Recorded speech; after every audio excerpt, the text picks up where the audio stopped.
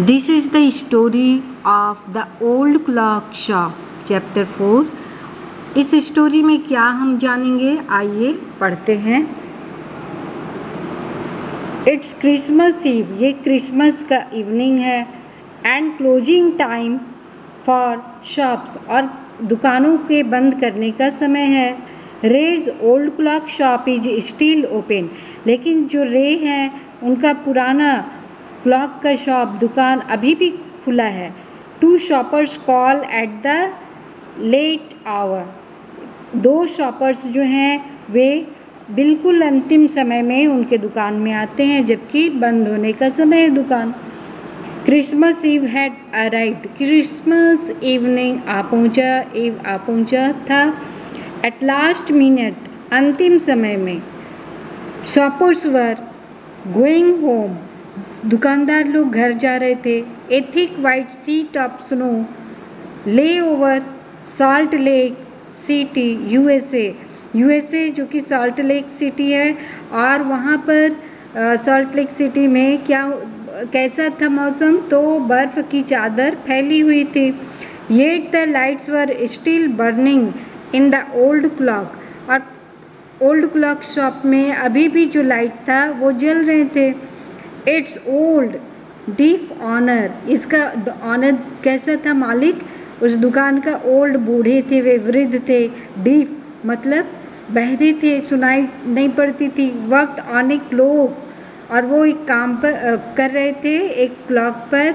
He had sold that day जिसे उसी दिन बेचा गया था। देखिए ये फिगर है। अब हम लोग चलते हैं नेक्स्ट पेज पे।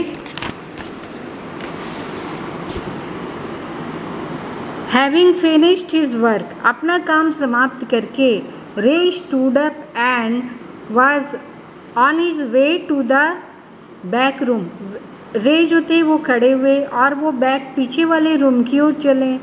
When a cold rush of air from the front door hit the back of his neck और फ्रंट डोर से जो आ, हवा का तेज ठंडी हवा का तेज झोंका जो था उनके गर्दन के पीछे में आ रहा था हिट कर रहा था। He turn to meet a last minute shopper अंतिम समय का वो जो सॉपर था वे उनकी ओर मुड़े। But his old wise eyes told him that this was not a shopper लेकिन उनकी वृद्ध आँखें उन, उन्हें बताया। वे बहुत बुद्धिमान थे ठीक है? उन्हें मालूम हुआ कि ये जो शॉपर है ये ठीक नहीं था, ये कोई शॉपर नहीं था, खरीदने को नहीं आया था। ही वॉज़ टू मैन वे लोग दो व्यक्ति थे। वन इन एज ट्वेंटीज़ एक बीस वर्ष का लगभग था and the other closer to fifty और दूसरा पचास वर्ष का लगभग था। The younger man remained at the door और जो छोटा वाला था, वो दरवाजे पर ही था। The older man approach the counter with no sign of friendliness in his eyes और वो जो ओल्डर मैन था, वो उसकी आँखों में फ्रेंडलीनेस मतलब कोई मैत्री का भाव अच्छा भाव नहीं था। वो काउंटर के पास अप्रोच पहुँचा। Ray was able to hide his growing fear as he slowly pushed a note pad and a pencil across the counter. Ray जो थे, उन्होंने अपने बढ़ते हुए फियर डर को छुपा लिया और एक नोट पैड और पेंसिल काउंटर की ओर उन्होंने बढ़ाया, क्योंकि वो डीफ थे, है ना? उन्हें सुनाई नहीं देता था तो वो लिख कर अपना लिख कर ग्राहक से मांगते थे कि क्या डिमांड है। He smiled at the unfriendly face वो मुस्कुराया अनफ्रेंडली फेस था उसका, कोई दोस्तीपूर्ण नहीं, है ना? Then pointed to his ears और फिर वो अनफ्रेंडली फेस की ओर देख के मुस्कुराए और फिर उन्होंने अपने पॉइंट किया, इशारा किया अपने कान की ओर and shook his head from side to side अपने सिर को साइड टू साइड उन्होंने हिलाया मतलब कि नाम ही हिलाया कि वो सुन नहीं सकते कान से। A quick look of surprise change the man's face उस व्यक्ति का जो आश्चर्य भरा दृष्टि था, वो चेंज हो गया as he studied the note pad जब उसने नोट पैड को देखा then turn and said something to his friend और वो मुड़ कर गया अपने दोस्त से। उसने कुछ कहा Ray used the chance to look closely at the man और अब रे को चांस मिला, अवसर मिला, उन्होंने नज़दीक से उस व्यक्ति को देखा।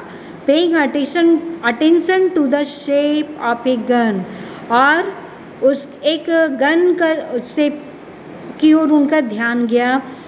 And a restless hand in the man's right coat pocket उस व्यक्ति के राइट साइड के पॉकेट में एक गन जो था। रेस्टलेस हैंड उसकी ओर उस व्यक्ति का हाथ रेस्टलेस था। हाँ गन की ओर जा रहा था। Anger boiled within him तो ये देख के रे के अंदर गुस्सा आ गया।